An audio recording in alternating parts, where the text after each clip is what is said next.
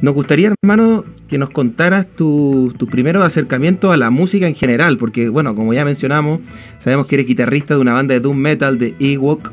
Y cuéntanos eso, bro, de tus primeros acercamientos a la, a la música en general. Ok, pues mira, yo crecí en una... en, mi familia siempre ha sido muy de, de escuchar música, sobre todo mi papá desde que tengo uso de razón, ¿no? O sea, yo creo que es algo más o menos común en todas las familias, pero en mi caso mi papá sí era alguien muy, muy, muy clavado, o sea, sobre todo en, el, en el rock y hasta en la música disco, en el pop, desde los 70s hasta 2000s, ¿no? Entonces, sí fue algo bien loco porque de donde yo soy de Sonora generalmente se acostumbra mucho a escuchar mucha banda o corridos o música norteña, regional mexicana y todo eso. Y generalmente es algo con lo que la gente allá crece, ¿no? Y obviamente yo sí lo tenía alrededor porque lo escuchaba en otros lados, pero en mi casa, en mi casa, yo no crecí escuchando eso. O sea, yo crecí escuchando, no sé, Queen, Led Zeppelin, Pink Floyd, todas esas cosas, ¿no? O sea, incluso ABBA, otras, otras cosas, pues.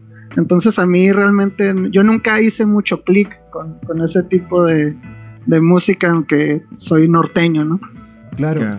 Y, Blue, eh, ¿cuándo te acercaste por primera vez a los instrumentos? Porque sabemos que eres guitarrista. ¿Cuándo tomaste la guitarra por primera vez? Eh, pues yo estaba en la secundaria y justo estaba en mi etapa así como skater, eh, y en ese tiempo lo que más escuchaba la gente que patinaba era como pop punk, como Blink 182 y esas cosas, ¿no? Ok, sí. Entonces, pues al ver a, pues eran también unos chamacos desmadrosos tocando, ¿no? Entonces mis compas y yo que escuchábamos eso era como, ay, güey, queremos tocar eso también. Y pues ahí nos poníamos a hacer como con escobas, ¿no? Que tocábamos claro. Sí, hasta que pues alguno de, ellos eh, primero le compró una guitarra acústica y ya todos rolándonosla, así todos empezamos a conseguir y pues así empezamos a, aprender a, tocar, ¿no? Ya, ¿y, y cuándo ya se convirtió en, algo más serio? ¿Cuándo ya formaste de... ¿Cuándo te eh, empezaste con tu banda de Ewok, eh, de, de, Doom Metal? No sabemos. Sí, eh, con Ewok, que es mi banda con la que más tiempo tengo, la empezamos en el, a finales del 2006. O sea, ahí sí yo ya tenía un par de años tocando, ya estaba en la preparatoria, ya tenía un par de años tocando y empezamos esa banda con los otros integrantes, ellos sí no tenían casi ni idea de cómo tocar sus instrumentos y yo tenía más o menos la noción, ¿no? O sea, no me podía subir a la batería y tocarla, pero sabía cómo eran los ritmos, entonces mi hermano, que era el primer baterista, yo le decía, ah, pues mira, tócale así, y le agarraba la onda bien rápido y le salía. Al bajista yo le decía, eh, guacha, tócale así, y le salía, ¿no? Entonces, bueno, esa, esa fue como la primera banda que... La mi primera banda fue otra, pero era como de covers, no la cuento. Eh, y es, pero esta sí fue la primera con la que empezamos a hacer nuestra música propia y todo. Aquí ya yo ya estaba, todos estamos sumergidos en, en la cultura del funk, ¿no? Entonces aquí sí ya fue algo más, algo no, nada que ver con Blink 182 ni esas cosas sí fue algo ya más, más diferente. Formamos parte de una subcultura, pues, y queríamos hacer ruido político y todo eso. Claro, oye, y Blue, eh, esto, esto es una es algo serio, ¿cierto? Tu, tu, tu, banda Ewok. Entonces se nos ocurre que tienes que dividir un poco tu tiempo entre el rap y el doom metal. Sí, mira, y de hecho Ewok, o sea, ahorita estamos inactivos, se puede decir que ahorita la banda no existe, pero hasta antes de la pandemia yo estaba como desde el 2013 hasta antes de la pandemia, siempre en dos o tres bandas en las que estaba, en las que tocaba, ¿no? La, batería, incluso la guitarra, la, guitarra o la batería en otra, siempre estuve tocando por lo menos dos bandas.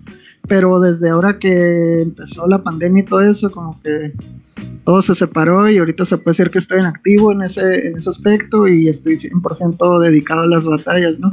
Que es algo que en mi carrera como rapero siempre me frenó un poco esa división, porque, o sea, como les decía, yo tengo haciendo música, en el 2011 fueron mis primeras canciones que grabé, pero yo rapeando pues como desde el 2007, ¿no?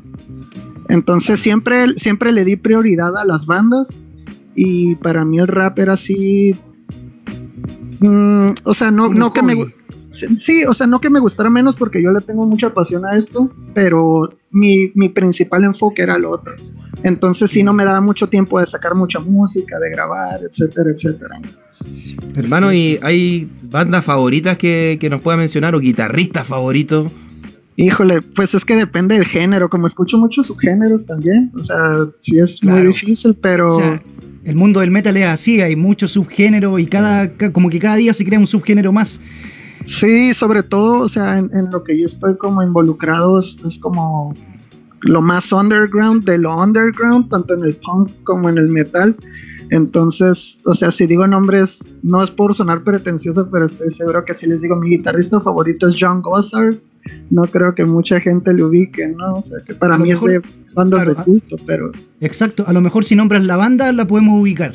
Bueno, John Gossard es guitarrista como de tres bandas de culto de, la, de la bahía, de la parte de California, de San Francisco, Oakland, es, esa área.